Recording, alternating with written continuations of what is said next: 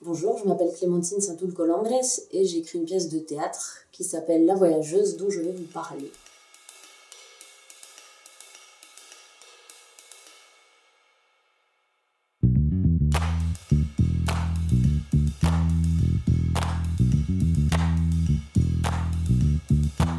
Mais avant toute chose, je voudrais me présenter. Donc, euh, moi, le théâtre m'a adopté il y a une vingtaine d'années déjà, et je suis devenue comédienne, metteuse en scène, formatrice en scène vivante, et plus récemment productrice d'une compagnie de théâtre qui s'appelle La Mezcla.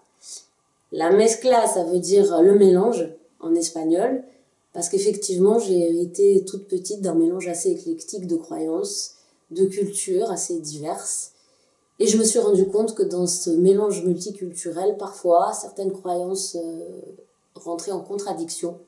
D'où la question qui s'est vite imposée à moi, mais alors, euh, qui a raison Où est la vérité? Oui, donc je me suis rendu compte assez rapidement que je ne pourrais pas définir mon identité en rejetant celle des autres, puisque j'avais déjà appris très jeune à coexister avec pas mal de différences. Coexister, ça veut dire euh, réussir à vivre euh, à côté des autres, sans chercher à les convertir, sans chercher à les dominer, et en essayant aussi de m'abstenir d'émettre des jugements un peu trop hâtifs, euh, sachant que c'est souvent des jugements qui sont inspirés plutôt de préjugés, inspirés par un fantasme, le fantasme de l'autre, l'étrange, l'étranger, à qui on ose rarement poser les questions qui nous démange. J'ai donc décidé que le théâtre serait un espace privilégié pour créer un dialogue entre la multiplicité des points de vue.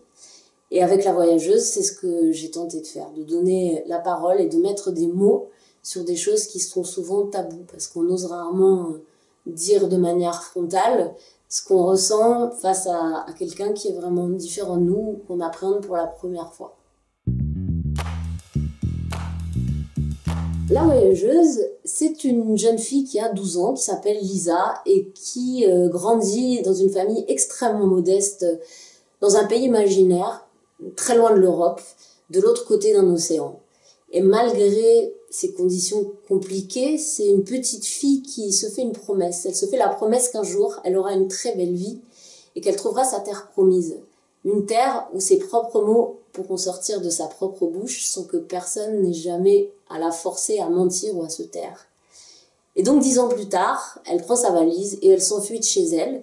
Elle contacte un passeur, le capitaine Billy, qui la cache dans la soute de son paquebot de marchandises et qui l'emmène à Paris en lui faisant croire qu'il a trouvé un travail pour elle. Sauf qu'en fait, il la vend comme euh, esclave moderne à une riche propriétaire euh, bling bling euh, parisienne qui a un grand appartement qui donne vue sur la tour Eiffel, mais qui l'enferme et donc Lisa stoppe son voyage, se retrouve prise au piège. Comment va-t-elle s'en sortir? C'est l'histoire de la pièce. Oui, La Voyageuse est un conte initiatique moderne. C'est un genre que j'affectionne particulièrement, mais c'est vrai que souvent les, justiciers, les, hommes de quête sont souvent des personnages masculins, en fiction en tout cas, moi j'ai ces souvenirs, et j'avais envie de parler de cette quête initiatique féminine, parce qu'elle existe et elle doit faire face à, de nombreux obstacles supplémentaires. Lisa, c'est un personnage extra lucide, c'est une fille éveillée qui est intelligente, qui est en quête de justice sociale, d'une amélioration du monde. Elle cherche à rééquilibrer les forces. Elle cherche euh, l'amitié, le dialogue, l'amour. Et dans son voyage, elle va rencontrer une série de personnages qui vont l'aider à, comprendre une réalité de, de ce monde complexe. Sa lucidité va souvent mettre ses personnages euh, face à leurs limites, puisqu'ils vont se rendre compte que souvent leurs croyances ont été établies par rapport à des préjugés un petit peu obscurs. Et donc, euh, Lisa leur donnera l'opportunité, ou pas, d'évoluer. C'est un personnage euh, de théâtre, une héroïne moderne, une héroïne de la vie quotidienne qui continue à choisir de parler d'espoir en milieu difficile. 18 mois de plus, et un jour de plus. Aujourd'hui encore, tenter de m'habituer au froid. Comprendre, sourire, comprendre, sourire. Ici, ils appellent ça s'intégrer. Les habitants de la ville au trottoir brillant disent que j'ai de la chance et que je dois dire merci car ici c'est un pays développé. Ils disent que mes ancêtres, ma culture, mon corps, mes rêves, mon savoir, ma langue, ma manière de vivre et de penser sont sous-développés. Ils apprécient ma chaleur euh, exotique, bien de chez moi. Je ne sais pas où c'est. Chez moi. Je pensais que maintenant, c'était ici. Je me tais. Je travaille. Je souris. Il paraît que je viens de ces pays là-bas dont on ne se rappelle jamais le nom. Trop compliqué. De ces pays là-bas qu'on ne connaît jamais vraiment mais où on danse, on a du cœur.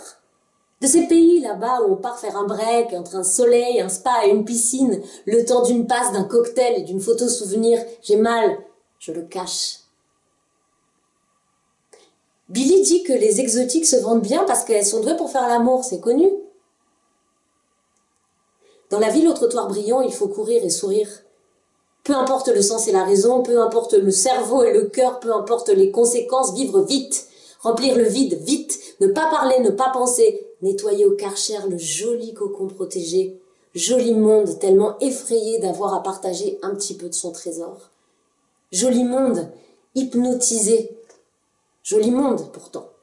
Et pendant ce temps-là, le capitaine Billy continue à faire passer ses tests de politesse à tous les voyageurs qui, comme moi, s'apprêtent à se laisser transformer en patates ou autres légumes pour faire la grande traversée, prêts à s'accrocher à n'importe quelle embarcation censée les porter ailleurs, ailleurs, n'importe où, loin, loin, juste pour que l'espoir soit encore possible, même si l'espoir doit les faire couler au fin fond de la mer, même si l'espoir doit les faire s'écraser, surgeler au beau milieu d'un jardin. Les légumes comme nous ne prendraient jamais le bateau pour dessécher sur les trottoirs brillants. Les légumes comme nous resteraient chez eux, si chez eux on arrêtait de les frire et de les découper à la machette. Si chez eux il était encore possible de vivre dans la dignité. Les légumes comme nous préféreraient tout à l'exil, à la misère du corps, à la solitude de l'âme, au déracinement, au sentiment immense d'inutilité de vulnérabilité, de terre profanée, étranger.